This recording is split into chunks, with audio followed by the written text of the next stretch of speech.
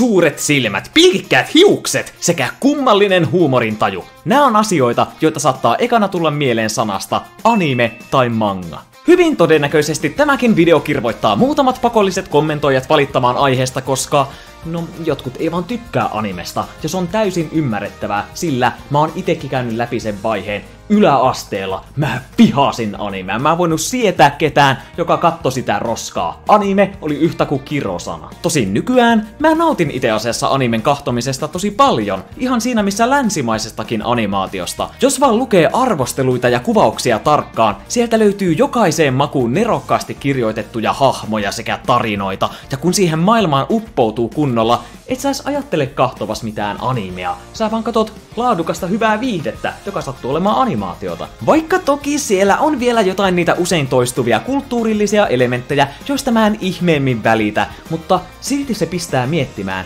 Minkä takia on niin yleistä vihata animea? Me saatetaan nähdä animesta palasia sieltä täältä, ja ensivaikutelma voi jättää kuvan sekavasti toteutetusta animaatiosta, jonka tyylisuunta poikkeaa liikaa totutusta, ja hahmojen japaninkielinen jokeltaminen vain ärsyttää. Me omaksutaan myös paljon ajatuksia esimerkiksi meidän lähipiiriltä, tässä tapauksessa varmaan eniten kavereilta. Heillä saattaa olla taustalla voimakkaita mielipiteitä animesta ja sen katsojista, joten todennäköisesti se vaikuttaa myös jossain määrin siihen, siihen, miten sä näet japanilaisen animaation. Meille rakentuu kaikenlaisia ennakkoluuloja, jotka saattaa saavuttaa naurettavan isot mittakaavat. Jos me saadaan peräkkäin monta negatiivista kokemusta jostain asiasta, on todennäköistä, että jossain vaiheessa sä tuomihet sen koko asian negatiivisena, etkä sä enää toisten näe tarvetta antaa sille mahdollisuutta. Mutta jopa yksi positiivinen kokemus voi muuttaa sen kierteen. Animen kohdalla se saattaa olla esimerkiksi se seura, missä sä katot sitä animea, tai kenties kenties itsessään siinä animessa on tosi kiinnostava ja omaperäinen maailma, joka sua viehättää, tai sitten henkilökohtaisella tasolla se tarina jotenkin vaan kolahtaa suhun tosi lujaa. Toinen asia, joka voi liittyä animen vihaamiseen, on sen äänekäs ja näkyvä fanikunta.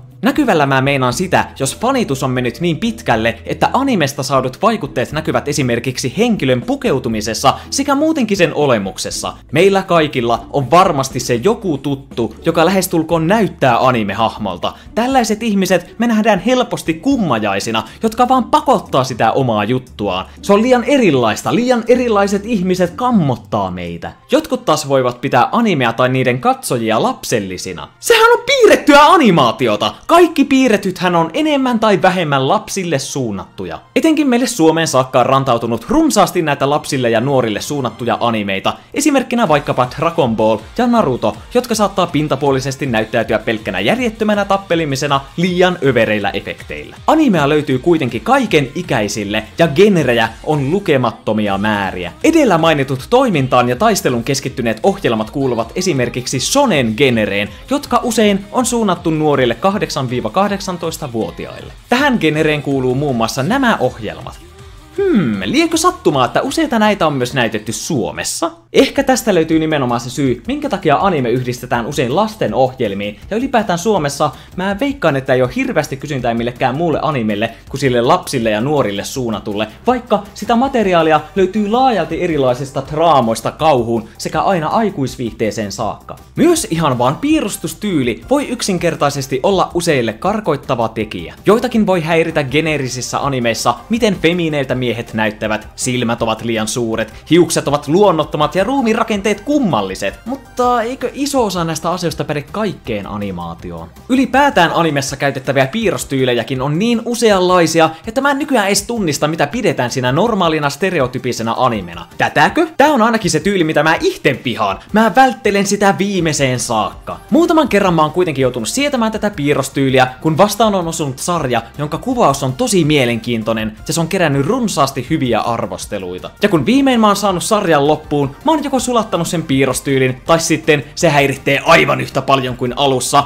mutta silti mä pystyn arvostamaan hyvin kirjoitettua maailmaa sekä tarinaa, jos se on hyvin onnistunut. Jos mä en pystyisi arvostamaan, mä en olisi ikinä päässyt läpi esimerkiksi Xenoblade 2 Nintendo Switchillä. Välillä on pakko joustaa, mä en halua missata erittäin hyviä tarinoita ja hahmokehityksiä vaan sen takia, että mä en tykkää piirrostyylistä. Stereotyyppiset anime-hahmotkin voivat olla karkoittava tekijä, tiettehän. Kimeä ääninen, liian energinen naishahmo! nyt meni aivan viliksi. Tai kenties ylieeppinen maskuliininen mieshahmo, Hassari Horate!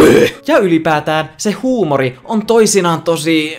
äh, meistä hyvin vaivaannuttavaa ja välillä se pistää oikein miettimään, Nauraako jotkut japanilaiset ihan oikeasti tälle roskalle? Överit, eleet, ilmeet ja äänensävyt eivät myöskään ole joidenkin mieleen. Minkä takia mä oon nostanut just nämä asiat esiin? Siksi, että nämä on ne päällimmäiset syyt, minkä takia mä itse nuorempana vihasin anime, enkä voinut sietää sitä. Näihin mä pystyn kaikista parhaiten samaistumaan, koska itse mä oon kokenut täysin samalla tavalla. Mun kesti tosi kauan päästä sisälle siihen maailmaan, mutta onneksi mä pääsin. Eka askel taisi olla se, että mä pelasin paljon japanilaisia JRPG-pelejä, joiden tyyli on animea muistuttava. Niiden pelien tarinat vetos muhun, joten mä lähdin sarjoista ehtimään samanlaisia kokemuksia. Ja sattuman kaupalla useat mun kavereista sekä mun tyttöystävä tykkää todella kovasti animesta, ja pikkuhiljaa myös mulle alkoi kertyä koko ajan enemmän ja enemmän niitä positiivisia kokemuksia. Mä löysin mun omaan makuun muutaman todella hyvän animesarjan ja leffan, ja lopulta mä kiinnostuin yhä enemmän tutkimaan ja löytämään lisää mielenkiintoisia sarjoja. Tällä hetkellä mä oikein ahmin niitä. Mä katon koko ajan lisää ja lisää,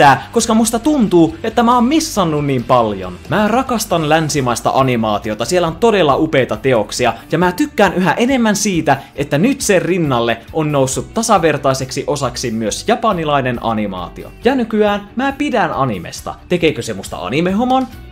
Varmaan tekee. Leimaako jotkut ihmisistä, mutta tämän jälkeen Varmasti, ihmismieli toimii sillä tavalla. On kyse mistä tahansa asiasta, jalkapallosta, partiotoiminnasta, mopoautoilusta. Jos sä satut tuntemaan paljon ihmisiä, jotka ovat kiinnostuneita näistä asioista, ja se porukka liian isolla ja ärsyttävällä äänellä valistaa pitävänsä tästä asiasta, todennäköisesti sä alat hiljalleen vihata kyseistä toimintaa leimaten myös ne hyvät yksilöt näistä ryhmistä. Toinen asia on taas, jos sulle koitetaan pakottaa jotain asiaa. Hei oikeesti, sun pitäisi antaa mahdollisuus NHL-peleille. No oikeasti ihan sika hyviä. Sun pitää vaan pelata niitä, niin hiljalleen sä alat tajuta, mikä niissä viehättää. Tällainen pakottaminen saattaa yhä enemmän saada henkilön välttelemään tätä asiaa. Ja jossain vaiheessa mä tuun tekemään erikseen videon, missä mä kerron, mitkä animet on mun omia suosikkejani ja mistä mä en tykännyt taas niin paljon. Mutta nyt mä haluan kysyä teitä, kuinka moni teistä tykkää animesta? Mitkä on teidän omia suosikki anime-sarjojanne tai leffoja? Ja satutaanko teitä jopa ehkä härnäämään siitä, että te nautitte animesta? Ja lisäksi, jos te ette pidä animesta, kertokaa, minkä takia te ette pidä. Onko teillä jotain vakaita syitä sille? Mutta tää oli kuitenkin nyt tällainen animepohjainen video. Halusin päästä tekemään sen tähän väliin ja me tullaan palaamaan seuraavassa videossa. Moikka vaan kaikki!